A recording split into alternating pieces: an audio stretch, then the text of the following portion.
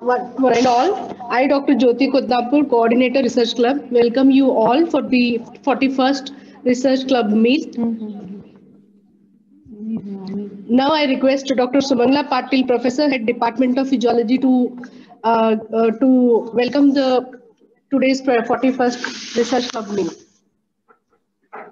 Uh, very good afternoon and a warm welcome to our distinguished speaker of today's Professor Cheng Hwee Ming sir. Uh, sir, we cherish your uh, uh, moments of my involvement with you in the comic challenge. And our one of the participant. Yeah, they're, they're, they're all your fans. Yes, Dr. sir. Chen, they're all your fan. Yes, Okay, sir. yes. I, I welcome you, sir, to for this today's 41st uh, uh, Research Club of BLDE University Department of Physiology. And I also welcome uh, Vidya Madam, uh, Professor and Head Anesthesia Department, who is chairing today's session. And I welcome all the uh, speakers who have joined, with uh, PhD scholars and uh, Mangala Gunatilake Madam, who was our uh, previous uh, chair speaker for this research club. So welcome, Okay. Madam, Mangala Madam. And I also Yes, welcome. thank you very much. Yes, Hi. Mangala. Good to see you. Hi, hi, Yeah. Professor Cheng. Nice to be see you. nice to see you, Mangala. Uh, nice Yes. to see you, Professor Das. Thank you for inviting me to join this meeting. Yeah, it's our pleasure. Yes, sir. With pleasure, madam. And I also welcome all other uh, clinical faculty of BLDE University who have joined for this meeting. Welcome you again. Thank you. Thank you so much, ma'am.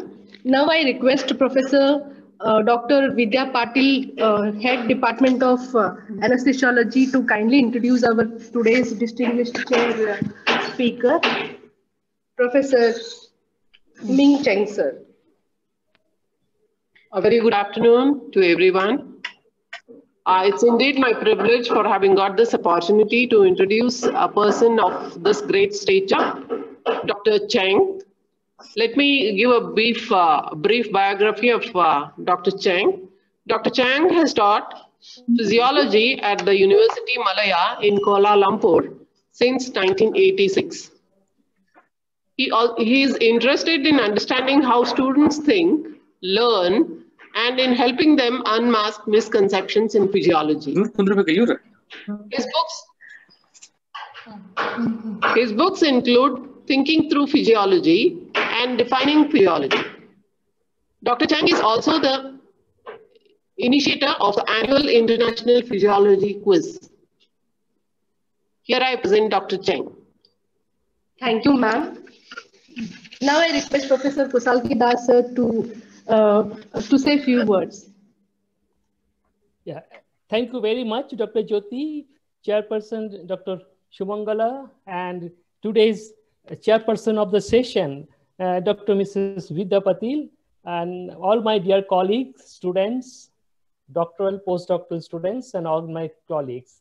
It's a great privilege. Actually, Professor Hwee Ming Cheng, Cheng is here. Professor Cheng is I think that anyone should feel nervous when you stand or sit in front of a quiz master, that too also a physiology quiz master on being physiologist.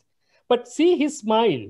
He always smiling. So that makes uh, overcome the fear of all other physiologists to stand in front of a giant. So this is a great honor for me personally. And to me, Professor Cheng is a very close because he, he was my predecessor in International Union of Physiological Sciences. So he was an IUPS Education Committee member before I, I am there. So he's my, I am his successor. But nowhere I succeed anything near to him. Just uh, we can't match with Professor Cheng's stature and all the things. So, but he's always guiding force for me and giving a big understanding of subjects, knowledge, and with the versatility. His immense contribution to BLDE University Journal of Health Sciences series of paper he has published with his students, scholars, colleagues. That itself is a great, actually the archives of BLDE journals are very much uh, enlightened and it has been really enriched because of his contribution. So as an editor-in-chief, I like to thanks on behalf of my university, my medical school, to Professor Cheng for your immense contribution to our health science journal and support it all the time. Thank you, Professor Cheng. So this is the research club, which we conduct every month in the last week of uh, the month. And this is the 41st meeting. We invite the people of his uh, distinguished people, but not always physiologists. It is a cross-sectional. We invite the cancer, cancer specialist, oncologist, cardiologist, all the fair range of people. So this research club actually, uh, we make the common discussions in a very interesting and lucid way, not exactly the didactic lecture as such, but because of the COVID now, it has been restricted to the didactic part of it but we have an interactive session. So thank you very much once again to giving me a chance. I think everyone should enjoy and being enriched, uh, being a medical school teacher with Professor Cheng himself is an outstanding student. He did his PhD from University of Glasgow, Scotland, and uh, is an extreme because I was in I, I was in Edinburgh and Leeds, and he was in Glasgow. So we have a feelings of the northern side of UK. So that's the Professor Cheng is here. Thank you very much, Professor Cheng. Thank you, Dr. Jyoti. Thanks. Now I request uh, Vidya Madam, chairperson of today's uh, session to kindly take over. Uh, may I now request Dr. Cheng to give us his lecture, please. Right. Okay, uh, thank you very much for uh, having me uh, this afternoon uh, or evening here in uh, Kuala Lumpur. It's uh, just past 6 p.m. And yeah, so thank you, Prof. Kusal, for asking me to speak to your colleagues and also your students. Yeah, Dr. Shamina has joined, Professor Cheng, Dr. Shamina from. Ah, yes, I saw Shamina, yeah. yeah, right. That's okay, right. go ahead. Hi, Samina. Yeah. Hi, So- hi, good to see you. Thanks, Professor Kusal. Yeah. Thank you. Yeah. So this is a uh, informal um, sharing among colleagues as well as students, and uh, it's quite a nice time to be asked to speak uh, at the end of the year because I think for most of us, we uh, use this time to take stock and uh, reflect on our own academic journey as well as our own personal lives. So, uh, so I've decided to just uh, tell very briefly an overview of my own journey as a teacher, and and obviously the title of the talk, uh, "Unlocking Physiology and Crossing Borders," was uh, were, were inspired by the coronavirus. Yeah. Okay. So, uh, so I'm going to just talk uh, on these two aspects of my own activity as a teacher, uh, besides being a, a researcher. Uh, so let me just share the slide. Let me see. I hope I can get it. Okay, great. Okay. So that's the first slide. Uh, okay, I should uh, maximize it, right? Yeah, if you should maximize. Full screen. Okay, can you see yeah, now? Fine, fine, fine. It's come. That's great. So, um, so this is, uh, yeah, this is in Cairo, uh, where I went, I think, but two years ago, I think, for my, my first trip to Egypt in Cairo. And obviously carrying the physiology bag, Acta Physiologica here, right? So, so this is a picture, just by way of introduction, of my a large university campus. It's very green and very beautiful. So I hope that some of you, uh, post-COVID days, will come and visit Kuala Lumpur. Be happy to be your host and show you around. And uh, and this is uh, Department of Physiology, as you can see here, spelled in the the Malay uh, Malaysian language, Jabatan Physiology, Department of Physiology. And this is what I call the corridors of knowledge because it leads right to the dean's office at the end of this corridor. And it's a very long corridor, at least three times this length on, the other side. And, uh, and we don't normally have this Malaysian flag flying outside the department. We- We're not so patriotic. This is uh, taken during the National Day. so, and the, the flag is there at least for, for a week. So our national day was 31st of, of August. Yeah. So the flag is there. So it makes, makes a nice picture that uh, the, the, the home of a Malaysian physiologist. Yeah. So let me introduce uh, just very briefly. These are some of my uh, younger colleagues. The one on the extreme right is the new head of department. Well, not, not so new now. Dr. Ho has been heading it for the last four years. And then Dr. Felicita in the middle and Dr. Lee. And, and it's nice to introduce uh, the two on the left because they were my former students. So it's always very nice to, to, to have your former students come back to be your junior colleagues in the same department. And I think it, it has enriched the, the department to have your students coming back to, to provide both the research and the teaching. So let me start by uh, giving you a timeline. Uh, this talk was given Uh, partly in 2017. So the timeline only reaches to 2017, but obviously this is 2020. So the picture of Snoopy here. So 1985 was my first year in October 1985, where I started as a junior lecturer. And so now it's 2020. So it has been more than 30 years of doing research as well as teaching in the, the same place, same, same, department of physiology, uh, Faculty of Medicine, University of Malaya. So I put here a picture of Snoopy reading and, and, and the picture of the year. And this is because I, looking back, uh, at least the first part of my teaching career has been spent basically just interacting with students and listening to them. And, and during those early years, there was a lot of time to read. And this is a, I call this a luxury now because now with increasing KPI, key performance index and uh, standard operating procedure, many of my younger colleagues are actually burdened with a lot of paperwork and do not have the luxury of having the time to just read and read and read and, and also the time to interact with the students and to listen to them. And I say this because um, much of my uh, insight into understanding physiology and in the introduction by the chair lady, uh, understanding how students think or how students commonly have uh, difficulty with certain areas is as a result of spending time listening to them. And uh, so this is just um, as a result of listening to them, was able to uh, release the first question book on cardiovascular physiology in 2002.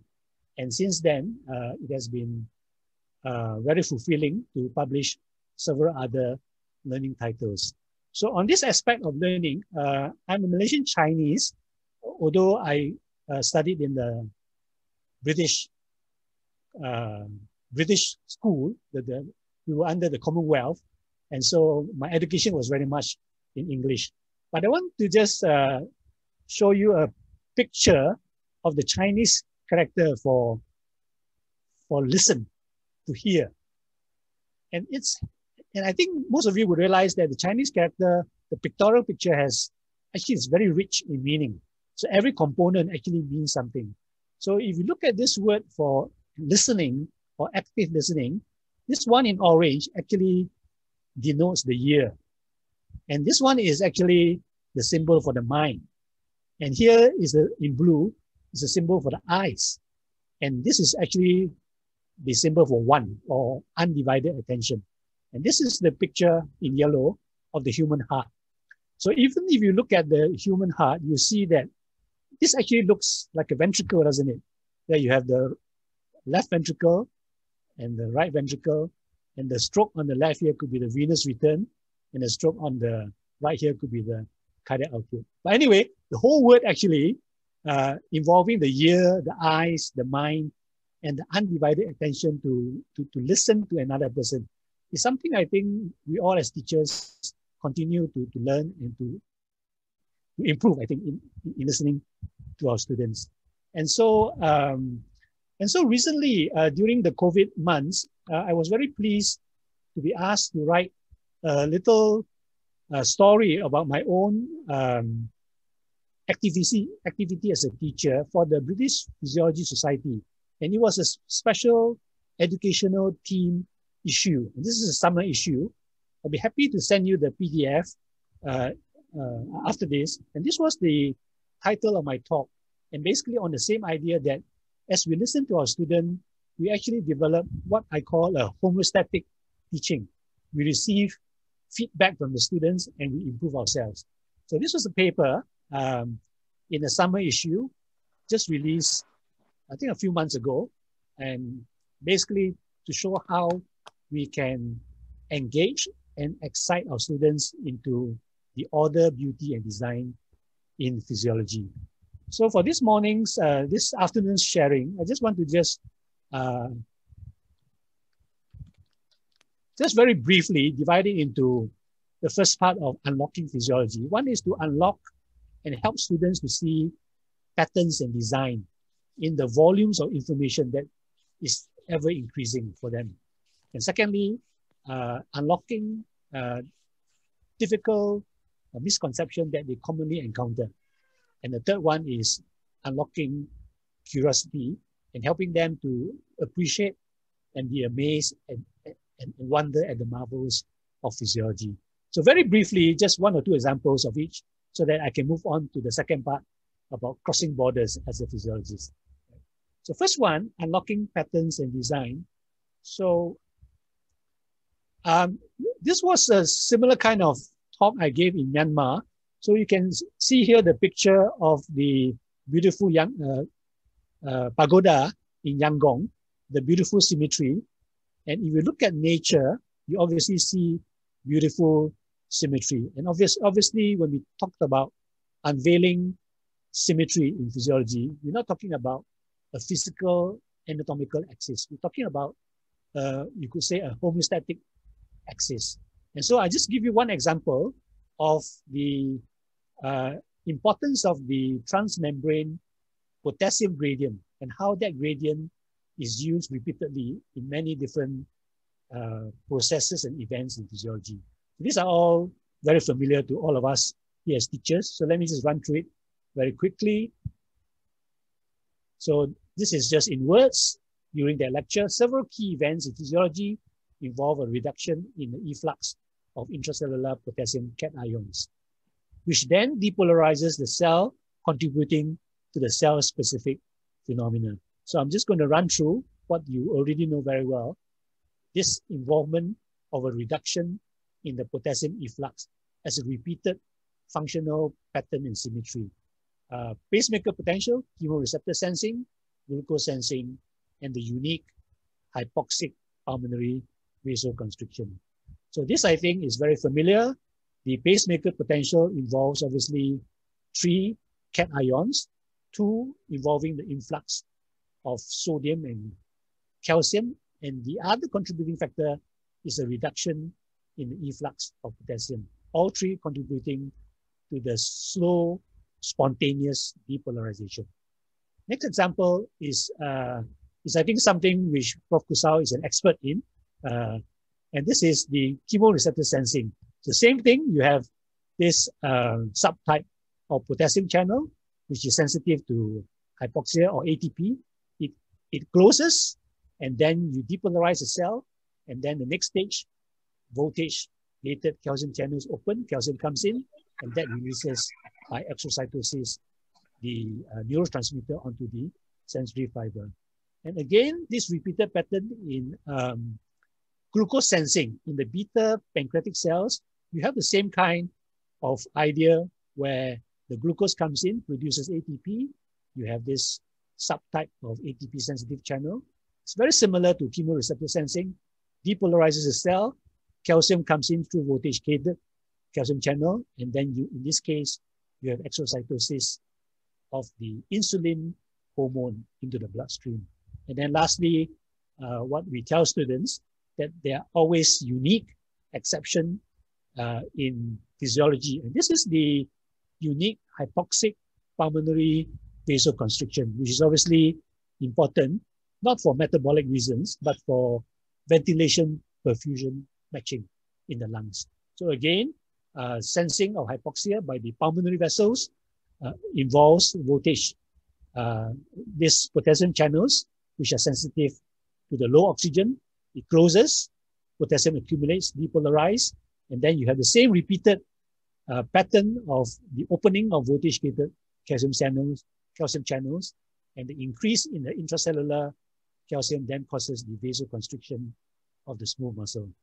And so we see uh, this one example, how we can encourage students to not be overwhelmed with the uh, increasing amount of uh, information, especially uh, cellular physiology information. We help them to see that there are organizing patterns, order and beauty in physiology.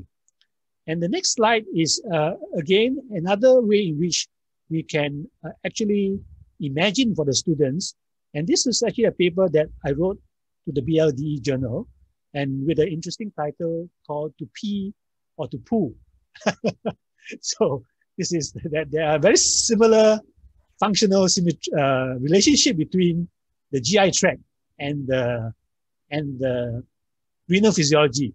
Both involves a long journey, both involves epithelial cells. And so let me just show you one slide, which is also mentioned in that paper. So this is to pee and to poo, cross-organ principles and mechanisms in renal and gastrointestinal physiology. So he has a cartoon here, a little humor here. So basically, uh, the idea here is that if you look at the afferent arteriole, it, it, you can see that as the beginning of the long nephronic journey. And so the afferent arteriole obviously controls GFR, and then the filtrate goes through a long renal handling processes. But the pylorus, which is also a smooth muscle, also denotes the beginning of another long journey. And this will obviously be the, the intestinal colonic journey. Here we're talking about the chymic flow, which you could, you could use the word intestinal and colonic handling of this um, product of digestion. And so we try to help students to see that as they uh, appreciate some of this common functional symmetry, it makes learning more interesting. Let me move on to the second one, and that is unlocking uh, misconception for the students. And one of the best way I found over the years uh, is as a teacher, uh, one of the best way to probe and to unlock misconception is by formulating uh, good physiology questions. So I think I spent half my life making physiology questions, not only for the physiology quiz for exams, but also just making them as uh, like a hobby. so and so as a result of years of doing this, we were able to publish um, a series of books called Physiology Question-Based Learning. And so this is one of them. And uh, there are two volumes, cardiovascular, respiratory, renal. And the second volume is on the other three system, endocrine, gastro, and neurophysiology. And one of the kind of question, uh, there are many style of question. We've all gone for this educational seminars that, that, that promotes different style of questioning. But one of the way in which I found useful is to design uh, what I call a WWW question. Uh, this is why, what's wrong. So basically, I've compiled a list of statements that appears correct. And this challenges the students because if they just read it loosely, they tend to say it's true, but on further examination, it's actually not correct. So let me show you. This is just a list of questions. Let me highlight in bigger font this sentence here. This is one of my favorite sentence. It says the ECF sodium concentration is controlled by the hormone aldosterone. Now, obviously, for most students, if they see sodium, it is, and they see aldosterone, they're like brothers and sisters. So immediately they'll say is correct. But because of the word here, concentration, it makes the sentence actually incorrect because ECF total body sodium is controlled by aldosterone, but not, um, sorry, sodium concentration is not controlled by aldosterone, but actually by the hormone ADH. There's a difference there. So because of this common confusion, even among my students, between the control of sodium balance and sodium concentration, we've actually summarized some of the different situations and scenarios in which students find difficulty. And again, I've, uh, I'm very thankful for Prof. Kusal to give me the platform to publish a paper in his journal. And this is the paper uh, using the yin and yang called Students Lose Balance over the yin yang of sodium physiology. And I think these students, uh, this paper, I've been able to distribute to my own students as well as to some of my junior lecturers in order to help them to appreciate the difference. So, um, so in this Corona times, I've actually, uh, in my free time, uh, in my partial lockdown, uh, come up with a slogan which I think you would appreciate. We're talking about sanitizers and uh, social distancing. And so this is for you who are teaching renal physiology.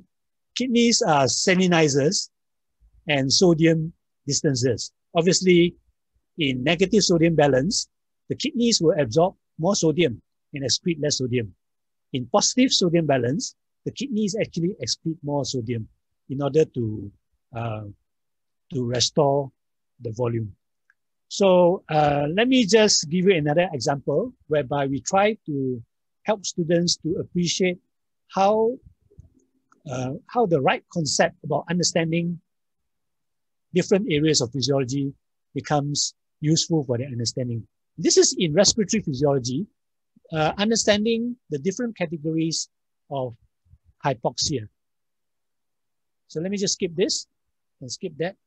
So this is uh, this is playing on the pun.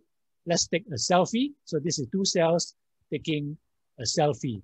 So hypoxia, I tell the students, is defined from the perspective of the cell. So, and this is how the students can appreciate the four different categories of hypoxia. So if the oxygenation is normal, but if the cells cannot use the oxygen, it is considered as, as hypoxia. So in histotoxic, there's nothing wrong with the lungs. There's nothing wrong with the blood flow, but the cells cannot use oxygen. So for the cells, it is hypoxia, histotoxic hypoxia. For stagnant hypoxia, again, there's nothing wrong with the lungs. There's something deficient in the blood flow. And so from the point of the cells, it is not receiving enough oxygen per time. And so we call this stagnant hypoxia. And obviously, anemic hypoxia uh, is when the, uh, the total amount of oxygen associated with the hemoglobin is insufficient. So helping students with this concept that the hypoxia is defined from the perspective of the cell. So over the years, helping students to unlock misconception and to define and use the language of physiology carefully. Because sometimes a basic definition, which is not rightly understood, affects their understanding of physiology. And so this was the reason why we began to write a series of books on defining physiology. The first volume I'm going to show in a short while has already been released. So this was written together with one of my former students. It's always uh, nice to include them. And this is the first volume uh, by, by Springer, cardiovascular, respiratory, and renal. And the second volume hopefully will be released in the new year. It will be on neurophysiology and gastrointestinal physiology. So, uh, so this is uh, what we've been doing. So let me move on uh, to the third one. And this is uh, unlocking students' curiosity and helping them to engage while they are listening to us in class, whether it's large class or small class. And I think one of the problem, problems or difficulty uh, in, in this time is always to be able to try to distract the students from their distraction so that they begin to listen to what we have to tell them. And so one of the things I found over the years is that the element of surprise uh, challenges and engages students. So in the course of your lectures, small groups or tutorial, you present them with, with some information which is which may surprise them. Okay, so this is just uh, in one of my talk. The element of surprise engages and challenges. Isn't that true? And uh, we hope that there will no, be no big surprises come next week, uh, January the 6th, when the Congress will have to confirm for the one last time uh, the decision to have Biden as the new president. okay, so let me give you one example, and this is um, so I tell the students uh, to in order to engage them, the carbon dioxide is not just a metabolic product. It's not just a waste product. When we use the word waste product, it gives the idea that it's not useful. But I give them a value, and that is in small parentheses here, the total amount of CO2 in oxygenated blood, about 50 mil per 100 mil. It's actually more than the total amount of oxygen, which is 20 mil per 100 mil. So this gives an indication that you must be doing something more than just being a metabolic biochemical product. So these are just some of the things uh, we can mention to them. The CO2 is a principal chemical respiratory control in the uh, via the central chemoreceptors as well as the peripheral. And at the same time, the muscles become more active. The CO2 actually vasodilates in the active muscle and so provides a matching increase in the blood flow. So this is a nice coincidence. And obviously we, we tell the students about Bohr effect. So a metabolic product actually promotes more unloading of oxygen to the cells. And then obviously carbonic acid from CO2 is a major determinant of the major extracellular fluid effect. And obviously in the bigger picture of human ecology, the respiratory, respiratory tree that releases CO2 is used by the trees and plants around us to generate the oxygen for our use. And just one example before I move to the crossing border section is uh, this was a talk given in Bali, uh, talking about some of the marvel and wonders in skeletal muscle physiology and using this late, latest movie uh, the, from the Marvel comics and uh, using the word endgame. So the endgame is obviously the final consumer for in, in physiology, which is the cells and the tissue. Let me just mention one slide from this talk. And this is the skeletal muscle metabolism leads to vasodilation and increased perfusion. So it, it amazes students when you tell them that all the local parameter changes and muscle metabolites are vasodilators whether by coincidence or by design, this is obviously physiological. As the muscle becomes more active, the pH changes, the uh, CO2 changes, and the production of substances like adenosine all vasodilates in order to match blood flow to the greater metabolism. So, so the other thing that we do uh, in our teaching is to try to help students to unlock themselves from being restricted to PowerPoint learning. I don't know about your students, but increasingly, uh, students do no, no longer read books. They just read the PowerPoint. and, and as long as they pass the exam, that's good enough. So, so this is a slide, uh, this is the title of a talk actually, teaching, uh, thinking, and learning outside the PowerPoint box. And some of the things you can do, and as I've done, is to try to be innovative and creative. I'll just give you one example. And this is to list down some of the major principles about osmolarity. And I just call this after the story of Moses and the Ten Commandments, Ten Commandments of osmosis, like osmosis. And uh, next slide is, is another concern that we have as teachers after teaching for more than 30 years that increasingly uh, my own students, I'm not sure about your students, do not write as well now because everything is, you know, uh, visual. And so they are, and, and in learning physiology, we actually do need to be able to write and express physiology uh, explanation clearly.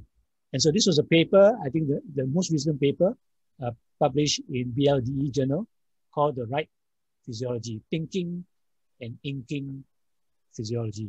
So let me move on to more pictures. And so this is one of my favorite cartoons.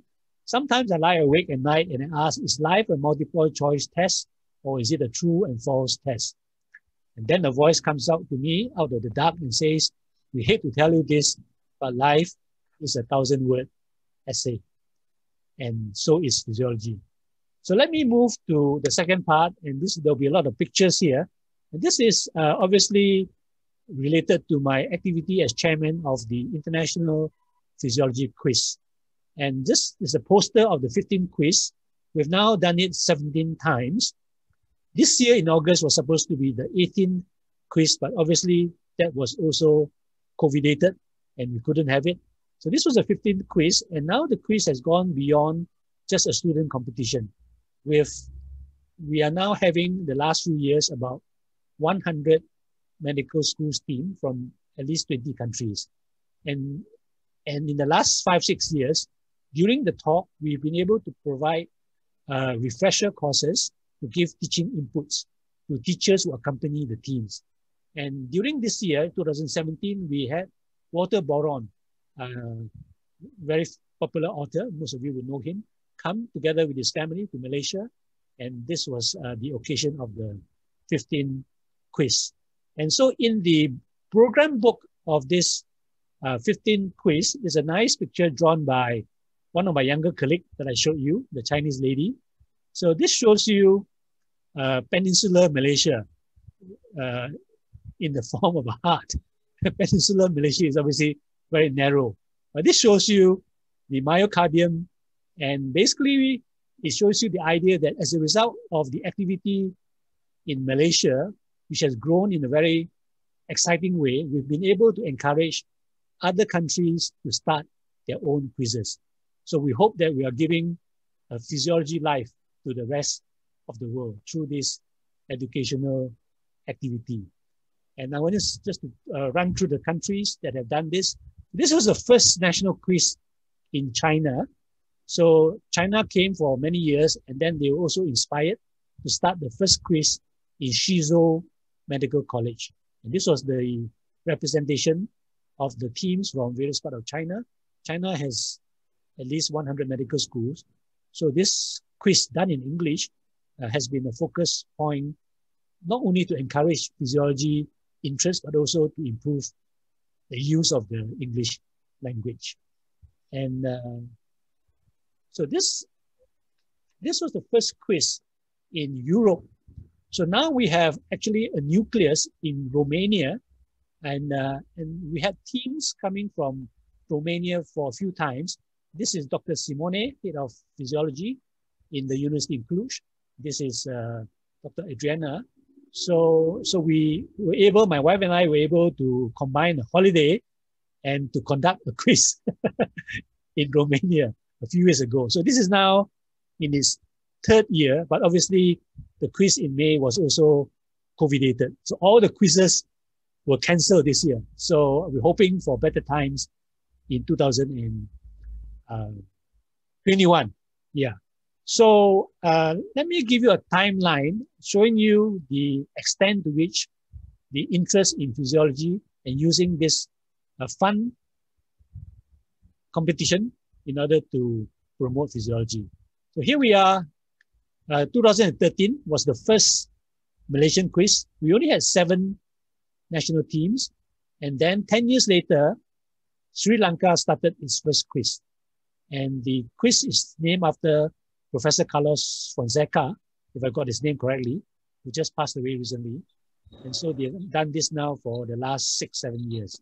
In China, as I mentioned, in Japan also started, and they do this in English, quite, quite an amazing feat uh, in, in Japan.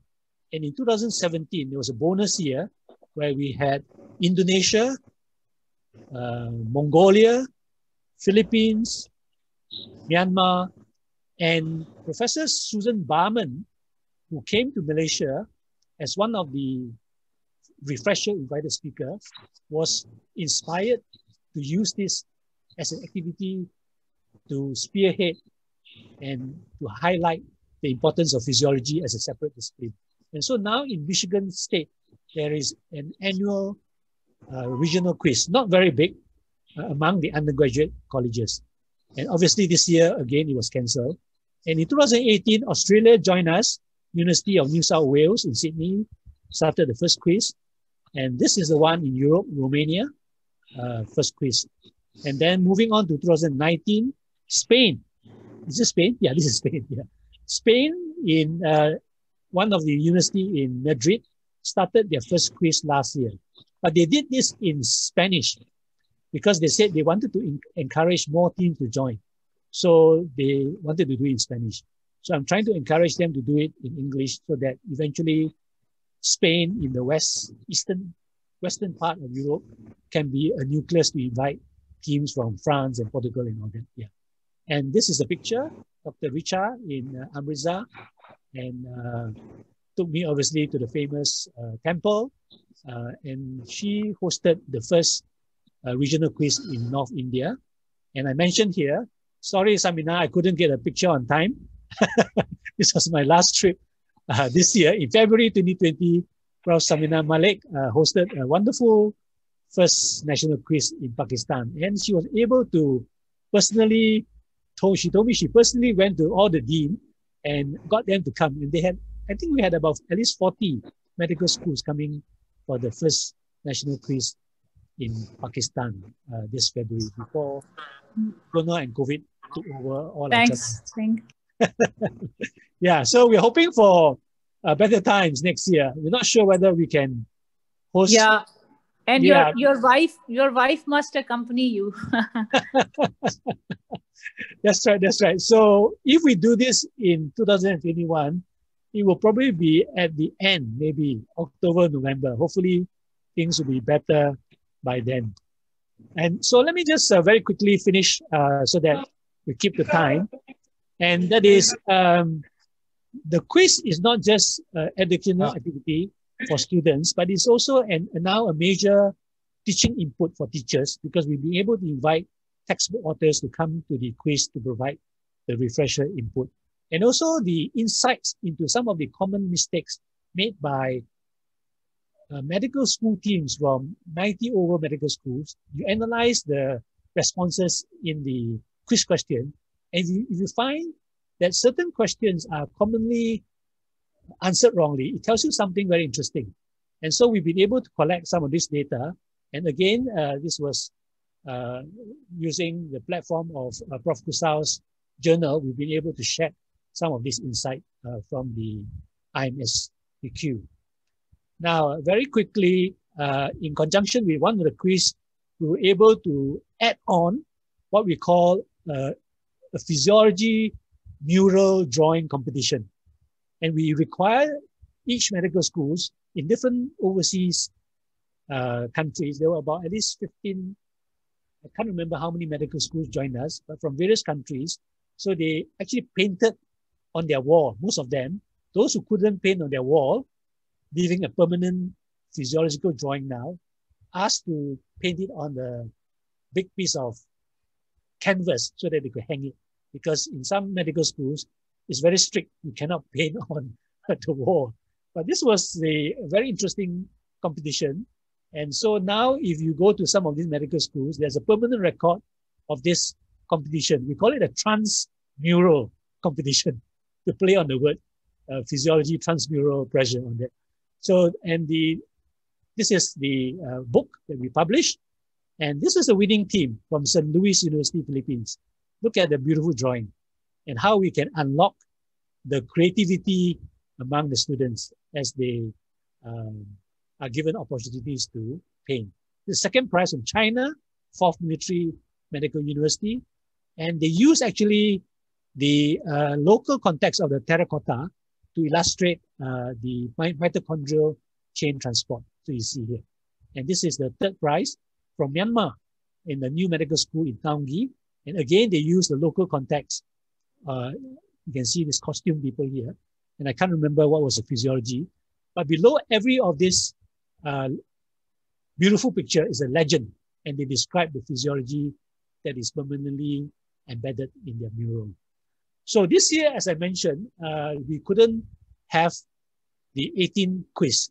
So what we wanted to do to fill in the gap, we had uh, international physiology comic competition and we had one submission from Prof. Kusal student too. And we received about 100 physiology comic from 15 countries. And this is now compiled as an e-book. I will send a copy to you. We just compiled this last week. And, uh, and it's such a delight to read through the humor, the physiology uh, in some of the in some of the comics. The first prize actually was from University of Valencia by two Spanish girls. I want to show you one comic, and this is the just the front, the first panel. They were asked to draw three to eight panels, and this is from a Malaysian girl who won the second prize. I just wanted to show you the kind of uh, humor and uh, creativity uh, that is possible. And she drew a story about red blood cells, complaining about the fact that they will be deprived of intrinsic factor. Let me just show you. And so the first thing that catch your eyes is this banner here, Red Lives Matter. so this is so clever, isn't it? Yeah. And uh, because somebody was going for bariatric surgery, and so they fear that they will be deprived of intrinsic factor. So let me just finish quickly. Uh, and this was a, another cartoon drawn by her. I wrote the script, and uh, this girl uh, has just drawn this recently on conversation between adrenal gland and kidney. So we use the word uh, kidney will be Rena, female, and adrenal glands will be Audrey. So, hi Audrey, you always stay ahead and on top of me. Adrenal gland, suprarenal. But Rena, both of us together are so damn important. Sounds like so damn important to keep the pressure normal in the workplace. Thanks, Audrey. I really appreciate that reminder. I really appreciate that reminder. I can't see this here. Uh, hey, we both have common pretty glamorous personality, glamorous personality. You are right. You are so encouraging, Audrey. You're in my cortex always. So let me finish with the last three, four slides. So talking about crossing border, as a result of the networking among my colleagues in different countries, let me just show you one. This is the island, the archipelago of Indonesia, spread out over a large area. And obviously, in terms of the COVID corona lockdown, uh, it's now not possible for me to go to Indonesia, although it's very near. I've had four conferences canceled within this year. But because of Zoom and technology, we've been still able to connect through organizing uh, teaching circles, in this case, a discussion about cardiovascular. So we use the word teaching circle to indicate the cardiovascular loop as well as the circle of physiology educators. So we've been able to do this among uh, physiology teachers coming from Sumatra, Kalimantan, uh, Sulawesi, uh, Java, and, and, one also from Lombok. Not only with teachers, but we've been also to been able to do this also uh, for the students in different parts of Indonesia.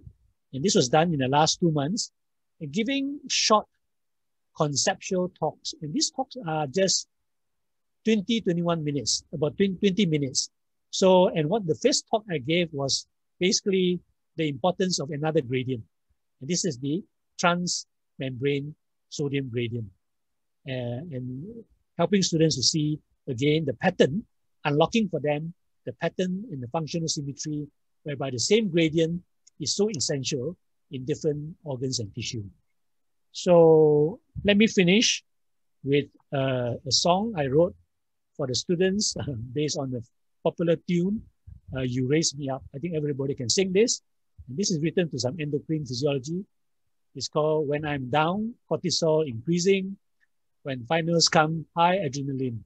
My pancreatic insulin glucagon ratio reduced, sustained blood energy. And this is the chorus, You Raise Me Up. So it's obviously the hypothalamic hormone, CR sharp, and I can stand the tension. ACTH for my pituitary, and I'll be strong. Prof Cheng always behind me. Finals, I come to ace my physiology. So to end the journey, uh, let me quote from uh, one of my one, the in, the end of my inaugural talk. My inaugural talk I gave uh, nine years ago, and this was the uh, so I call my inaugural talk uh, a physiology journey. If I can find the PDF, I'm happy to send it to you. This is a quotation I wrote in this book, uh, one of my favorite authors, C.S. Lewis. All their life in this world and all their adventures in Narnia had only been the cover and the title page. Now, at last, we were beginning chapter one of the great story which no one on earth can has read, which goes on forever, in which every chapter is better than the one before. So that's the end of my talk. This is just my contact. I think Dr. Kusal already has that. Thank you very much.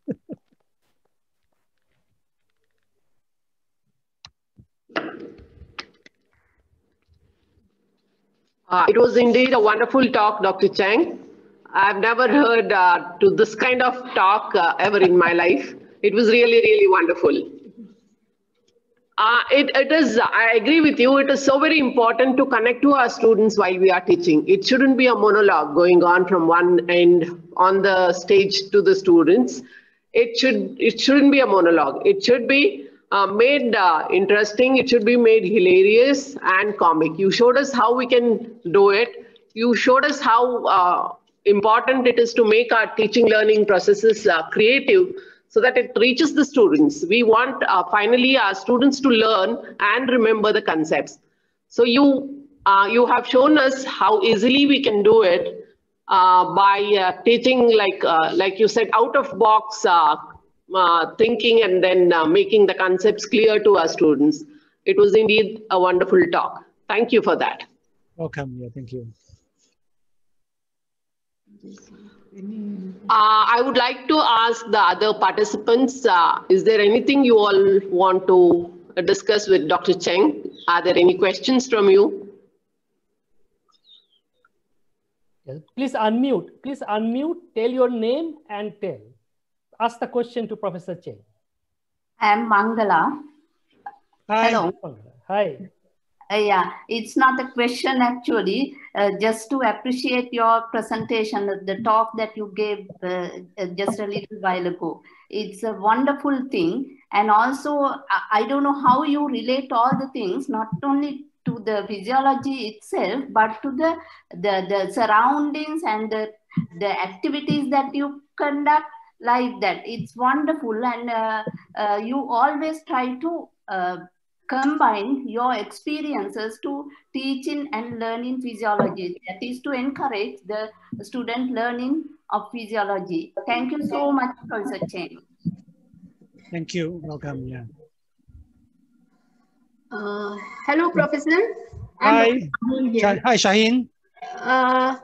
So I wanted to know whether these uh, quizzes you told is uh, written quizzes or oral quizzes for the students. Because in our university, we conduct written quizzes after each continuous assessment. Right. So uh, the uh, the quizzes are over two days. Uh, the first day uh, is a written quiz. So as I said, we now receive about 90, at least 90 teams. So we shortlist the 90 teams to 45 teams for the second day, which is an oral session. So the second day is a full day program because it's like a live live competition show where you have the quick response buzzer system. So it's very exciting, and I hope that some of you can come and witness this. Hopefully next year we can have it. Uh, so it's over two days, yeah. And I, yeah. So so so Samina is here. So she'll be able to tell you what happened in yeah. Uh, yeah. Thank you so much, uh, Professor Ching, for making physiology so beautiful and fun learning. Uh, and uh, it was uh, uh, really a huge event because the students gathered by the name of Professor Ching from all over Pakistan at University of Lahore.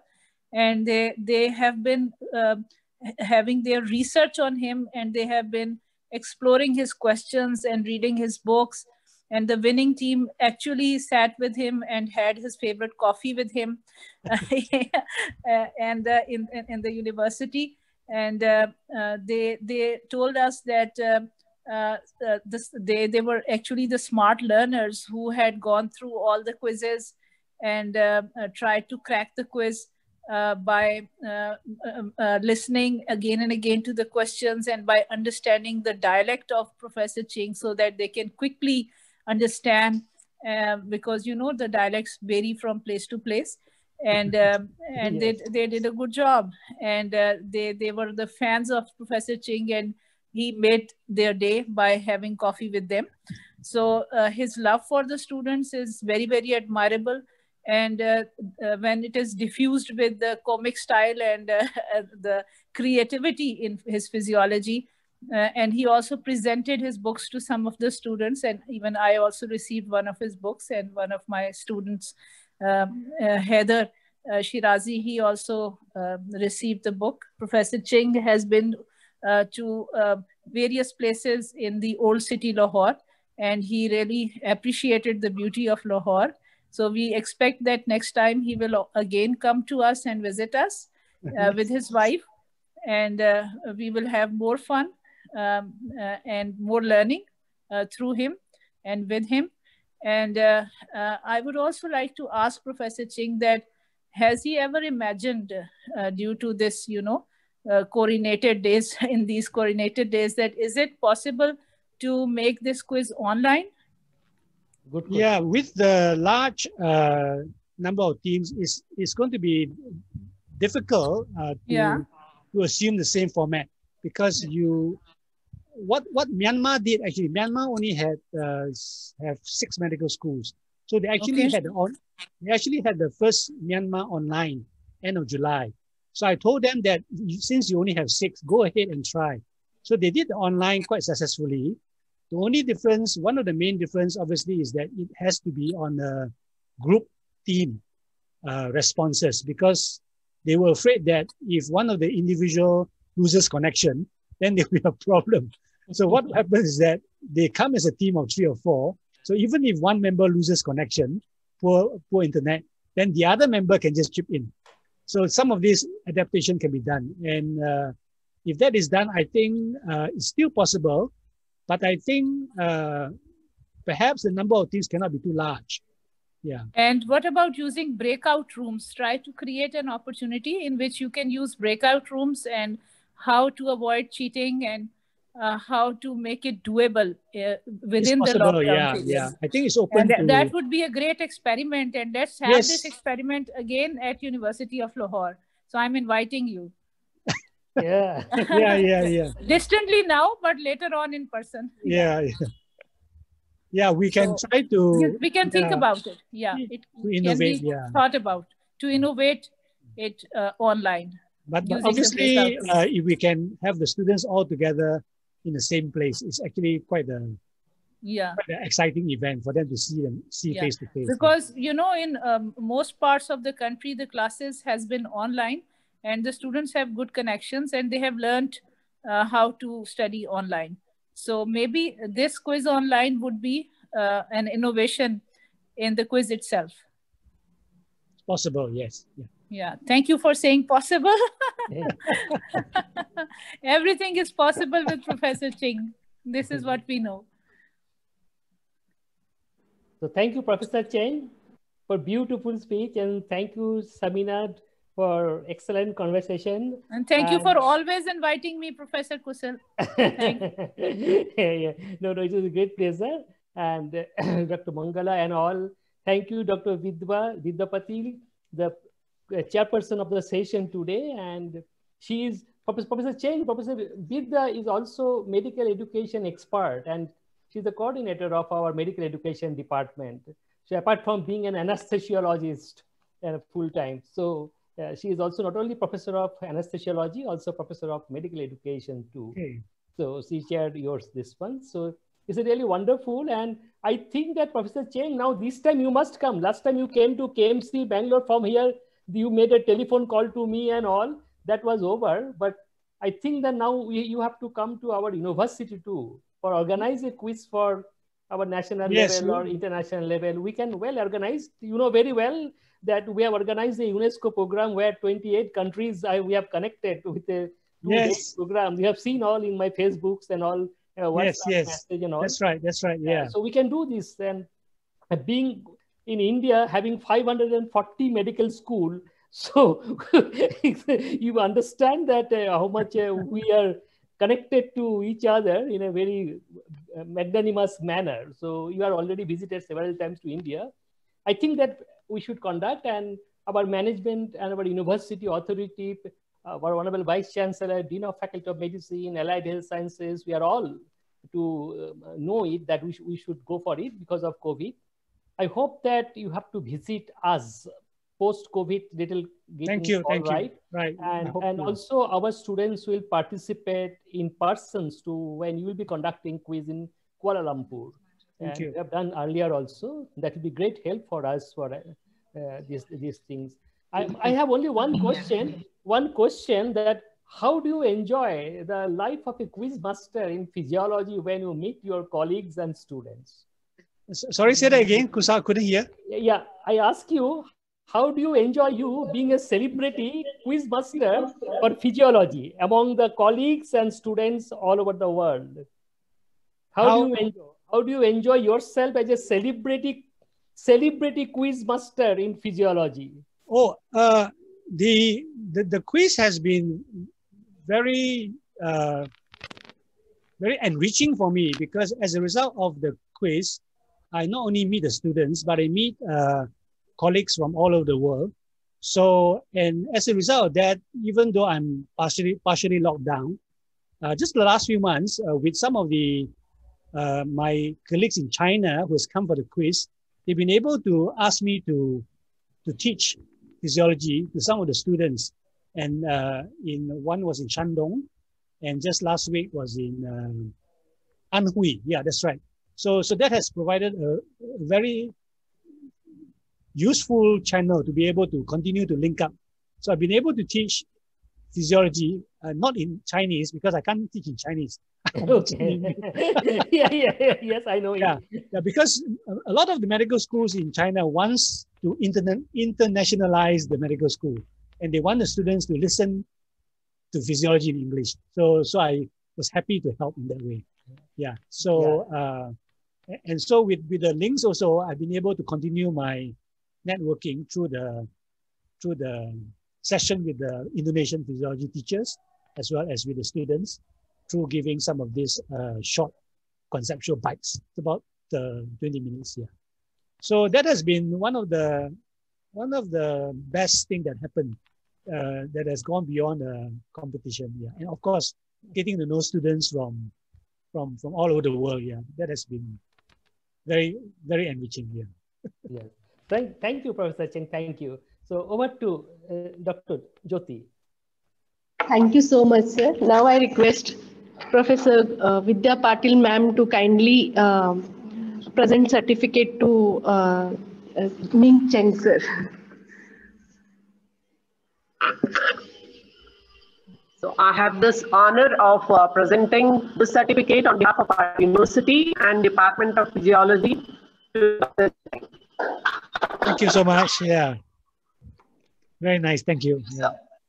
That was a wonderful talk. Yeah, I will I will send you by WhatsApp to you. thank you. Thank you. Yeah. thank you, sir. Thank you.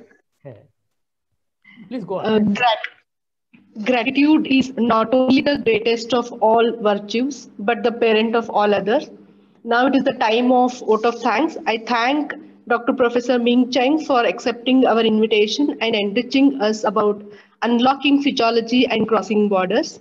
I thank Dr. Professor Vidya Patil, Professor and Head Department of Anesthesiology for chairing the session. I thank Dr. Sumangala Patil ma'am for supporting us. And I thank uh, Professor Kusal. Das, who is the key person of the research club. And I thank all the participants for uh, participating in, in the uh, 41st Research Club meet. Thank you once again. I request all member, all participants kindly enable your videos so that we can take a screenshot for documentation. Yes. Thank you. Thank you. Yeah. Thank you very much.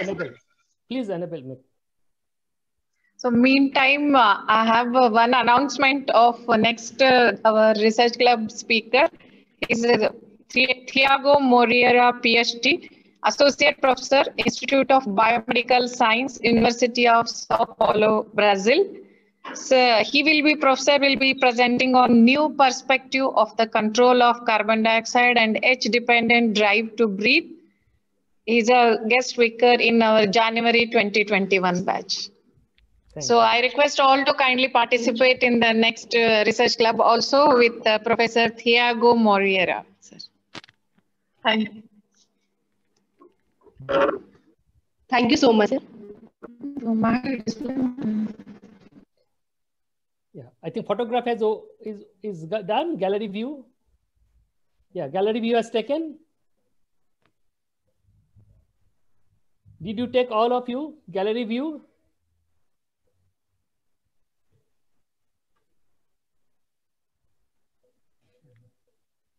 Yes, Dr. Thiago Moreira he is a student of my friend, Professor Benedito Machado.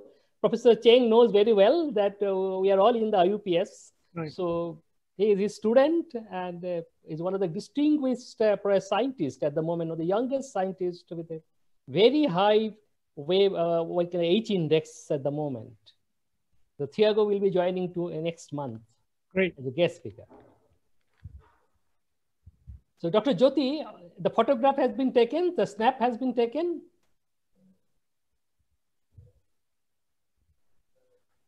Dr. Us. Jyoti, So you are, Dr. Jyoti, yes, yes. Hello, sir. uh, pho- uh, photo, a photo has taken. Yes, sir. We have taken the uh, screenshot, sir. Thank you all for being with us. So kind request you all to uh, join for the next uh, session also. We are going to share the link with you all Next year. for the next Thank you very much. Uh, Thank you very much. 2020. Thank you. Okay, sir. Thank you, sir. Thank you, once. Thank Hello, Anika. I see you. Ah, hello, Dr. Singh. How are you? okay. Yeah. I remember I, I came to Malaysia That's and right, uh, that's right. participated under the direction of Professor Arif Siddiqui. That's right. And um, yeah, I really enjoyed it. It was a lifetime um, uh, event for us. Yeah.